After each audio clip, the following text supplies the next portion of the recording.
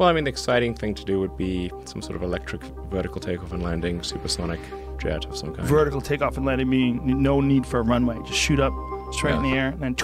How would you do that?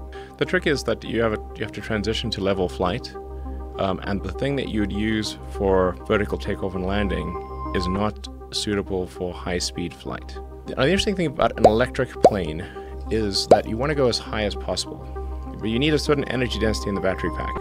Um, because you have to overcome gravitational potential energy. Once you've overcome gravitational potential energy and you're at a high altitude, the energy you use in cruise is very low, and then you can recapture a large part of the gravitational potential energy on the way down. Um, so you really don't need any kind of reserve fuel, if you will, because you have the energy of height, gravitational potential energy. This is a lot of energy.